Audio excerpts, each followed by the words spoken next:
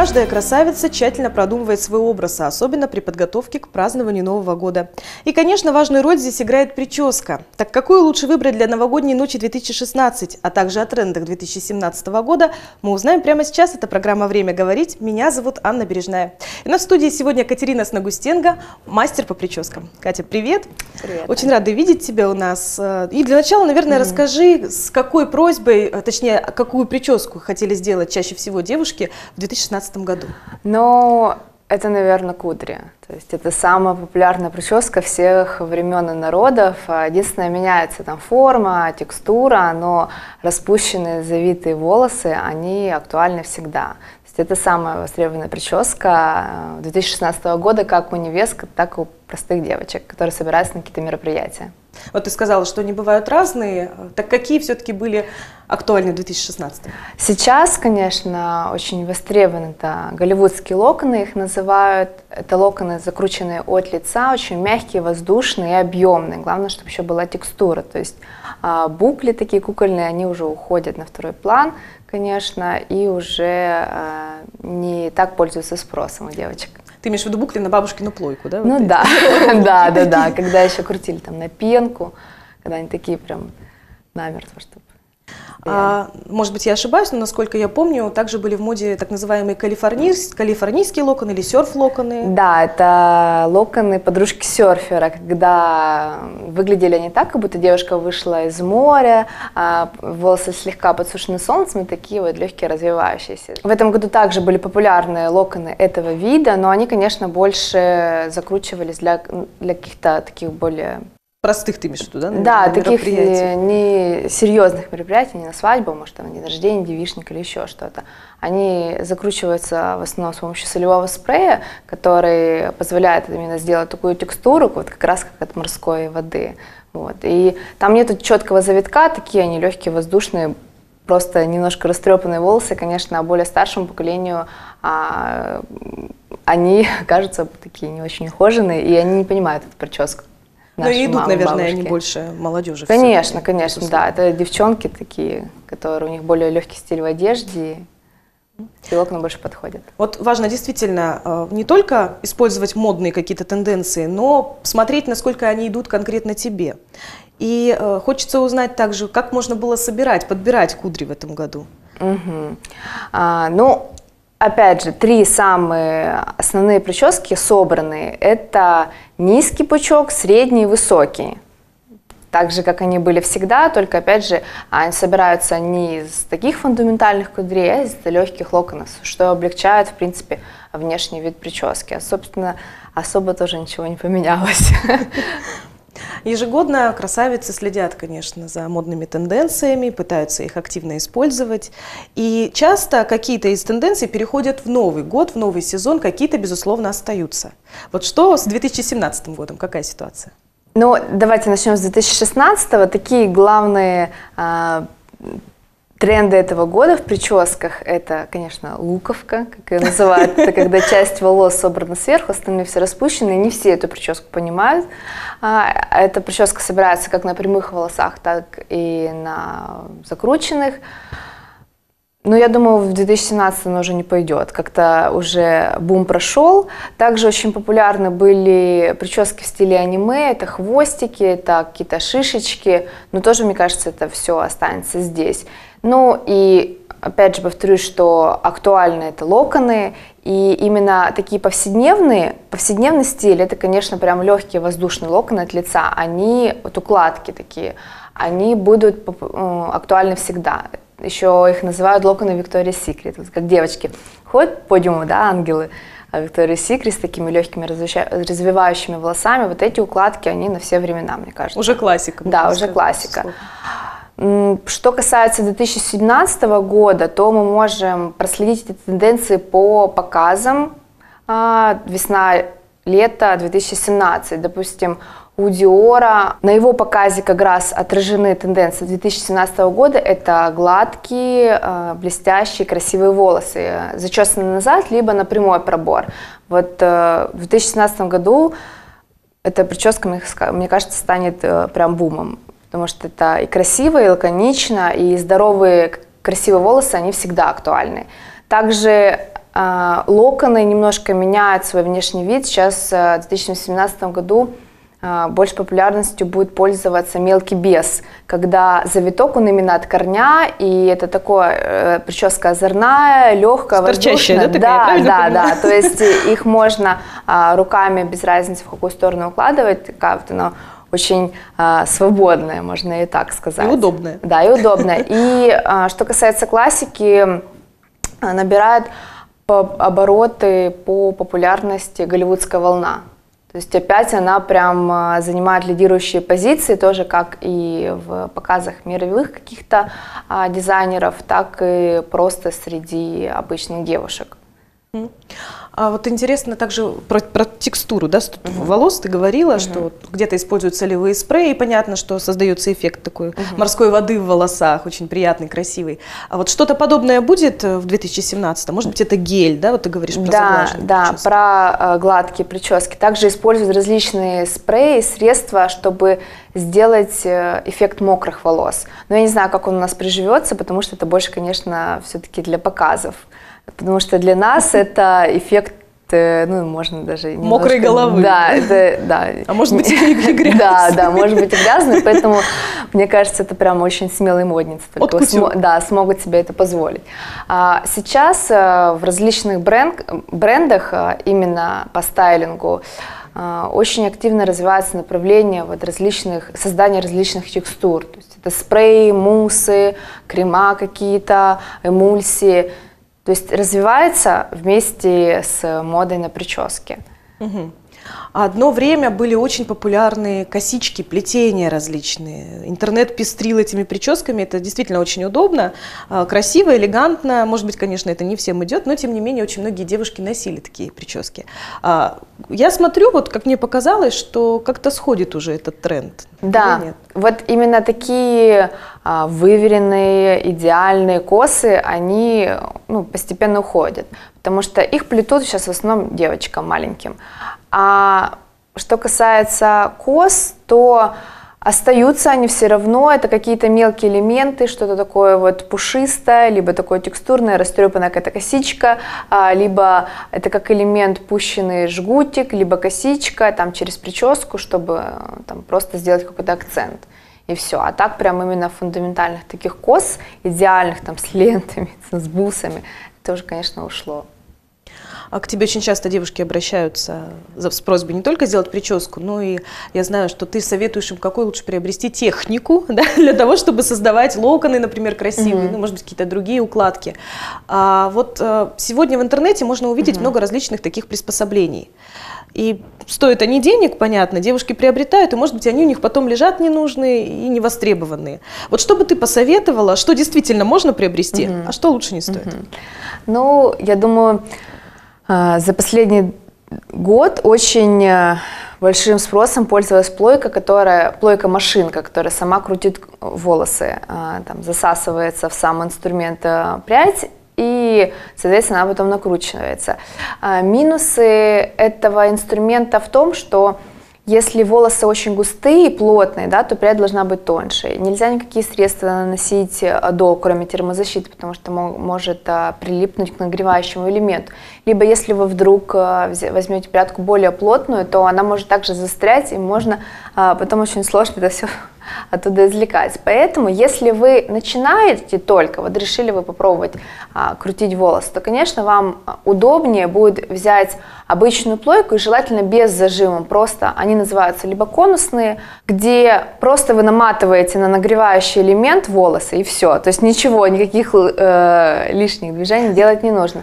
Эти плойки, они и кудри хорошие делают на волосы, волосы хорошо держат, локоны. А, и очень удобно в использовании. То есть начните, потом, если захочется вам разнообразия, можете еще там докупать что-то. Ну и, конечно же, все инструменты должны быть профессиональные. Тогда инструмент прослужит вам долго, и ваши волосы будут... Э, Целые, да, на месте. Да, да, да. да.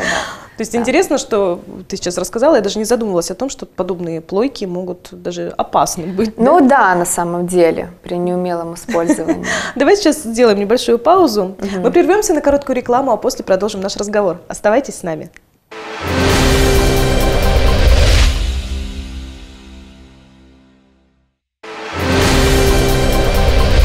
продолжаем наш разговор о прическах с Катериной Сногустенко.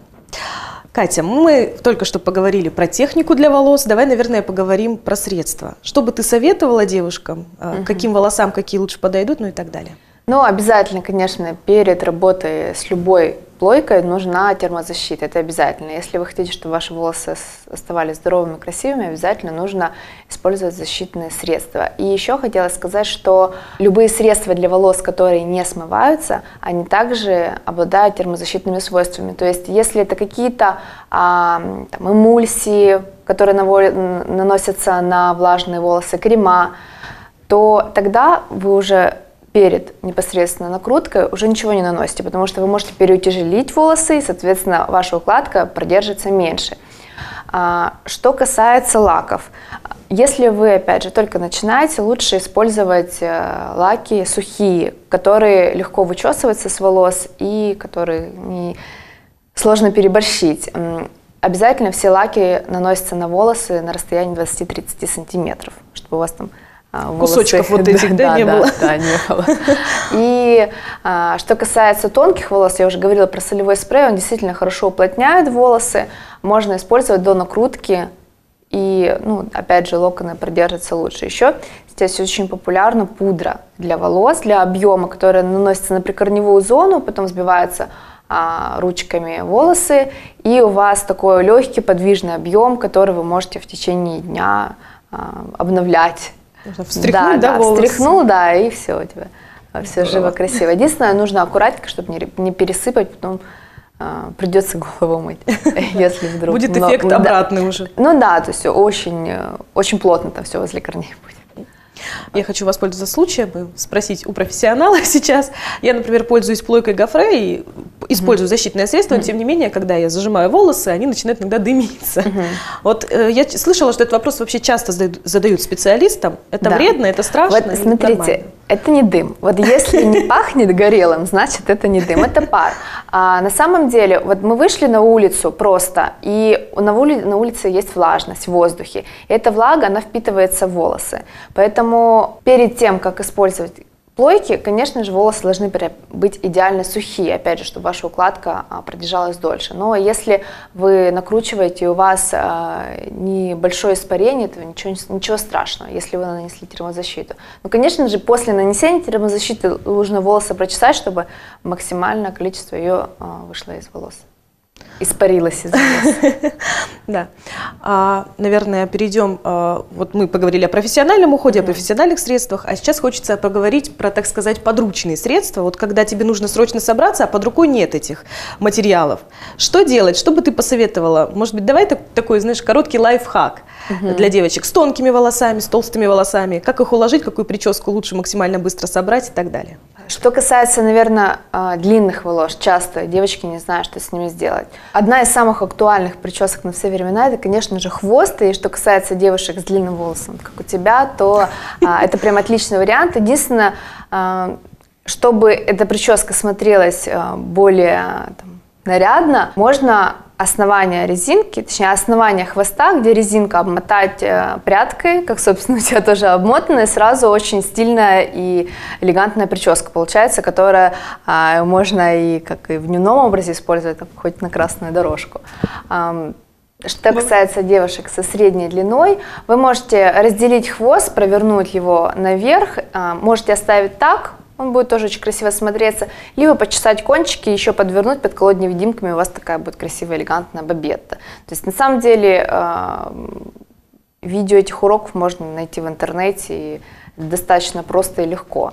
Также многие используют, э, я даже не знаю, как правильно назвать, э, вот как раз для бабетты такие специальные губки, я их называю, да, они похожи на губки. А, это действительно удобно, потому что они фиксируют волосы, создают дополнительный объем. И многие спрашивают, вот как правильно использовать. Кто-то накручивает волосы, угу. кто-то вокруг, да, обкручивает. Но на самом деле, конечно, это приспособление, оно облегчает работу, особенно когда у вас тонкий, не длинный волос, да, и вы можете достаточно большой объем сделать. Но многие девушки, они прям так анатомически точно повторяют этот бублик, что прям можно прям диаметр проследить. На самом деле сразу видно, что у вас под волосами что-то есть. Как можно это скрыть? Вы хвост немножко подчесываете, сбрызгиваете лаком и сверху вычесываете начес, чтобы его не было видно, и оборачиваете вокруг э, этого валика. И краешки подкалываете шпильками, невидимками, и кончик прячете тоже под э, сам этот валик, тогда у вас шишка а, выглядит естественно, как будто бы у вас волосы до пояса, вы собрали красивую бабету и пошли а, покорять мужские сердца. Поэтому лучше добавить немножко текстуры, чтобы было более естественно. Я думаю, стоит перейти, собственно, к созданию новогоднего образа. Какую бы прическу ты посоветовала сделать красавицам в эту новогоднюю ночь? Ну, конечно же, красивую, потому что у нас год петуха, петух любит все яркое, такое блестящее, поэтому прическа тоже должна быть эффектная. Но не забывайте, что еще она должна быть удобная, потому что вам всю ночь с ней веселиться. А, конечно, лучше волосы собрать, то есть чтобы легко собрать, нужно их перед этим накрутить. И дальше вы можете элементарно подкрутить волосы, собрать хвост, этот хвост подчесать и обмотать а, либо вокруг основания хвоста, либо также надеть э, валик и обмотать вокруг валика. И за счет вот этой созданной текстуры локонов у вас прическа будет э, очень э, эффектная, воздушная, красивая, праздничная, и не нужно ходить даже в салон.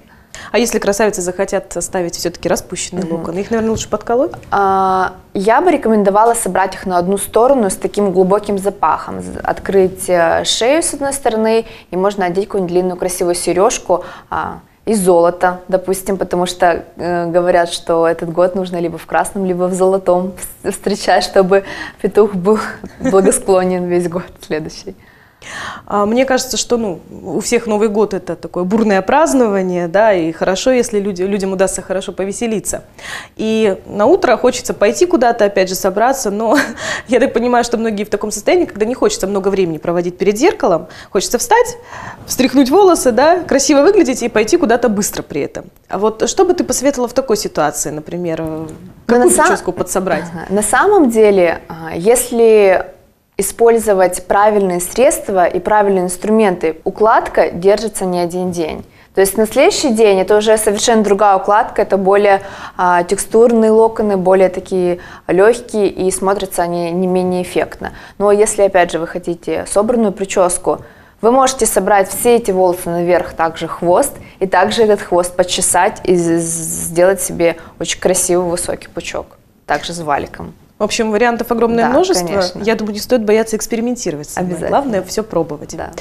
А, я забыла задать тебе, мне кажется, интересующий многих девушек вопрос. А, каким должен быть базовый набор косметики ухода для волос? Чтобы ваша прическа носилась максимально долго и даже не один день, то это термозащита обязательно, это лак, можно сразу брать сильной фиксации. Для тонких волос, конечно же, уплотняющие какие-то средства, допустим, солевой спрей. Также я бы еще рекомендовала пудру для прикорневого объема, которая также продлит стойкость прически. Кать, спасибо тебе огромное. К сожалению, нам пора заканчивать. И напоследок я хочу попросить тебя поздравить жителей, жительниц Владивостока и Приморского края с Новым годом. Дорогие телезрители, хочу поздравить вас с наступающим 2017 годом и пожелать исполнения самых сокровенных ваших желаний. А девушкам хочу пожелать улыбок, красоты и эффектных причесок. Кать, спасибо тебе большое, спасибо за добрые слова и за нужные советы, такие нужные действительно, потому что мы часто задаемся такими вопросами, и благодаря таким профессионалам, как ты, наша жизнь становится заметно легче. Удачи тебе и развития в 2017 году. Спасибо, спасибо что пришла к нам. Спасибо. Я напоминаю, что это была программа «Время говорить». В студии работала Анна Бережная. Увидимся на восьмом.